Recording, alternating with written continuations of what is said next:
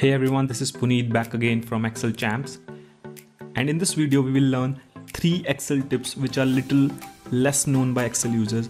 But if you learn these tips can help you a lot in saving time. So let's get started. So here I want to restrict a user to not to add a sum total above 100, I mean more than 100 in these four cells. So for this, I'm going to select these cells and then I'm going to go to data tab.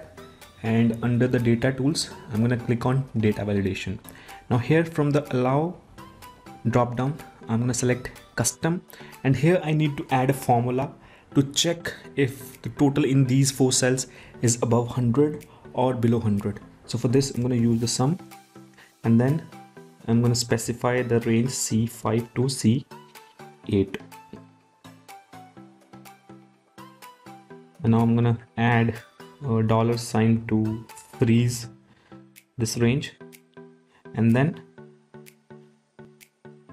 I need to test if it's less than 100 or more than 100 and now now here I also need to add a custom message to tell user that the total is above 100 so here I'm gonna add the title and here a small message. And then click OK. And now if I try to enter 80 here so the rest of the value is 20 so if I try to add 21 which is 80 plus 21 which makes 101 so when I try to enter value above 100 it gives me that error message that says there is a restriction on all four cells with yellow you can't enter a sum total of more than 100 and when I click on retry it allows me to edit the value. So if I enter 20 which is 80 plus 20 equals to 100 yes. So in this way you can create a specific restriction on some of the cells in the worksheet. Now here in the second tip I have few names and age. Let's say if I want to filter uh, all the values where age is 28 so what will I do? I'll click on the cell and right click and then go to filter and use filter by selected cell value.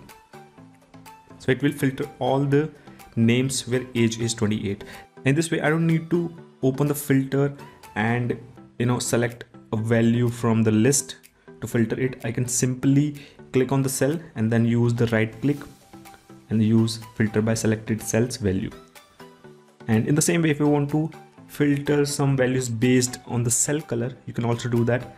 Again right click filter. Filter by selected cells color. And it will filter all the cells with yellow cell color. And in the same way you can also use the font color as well.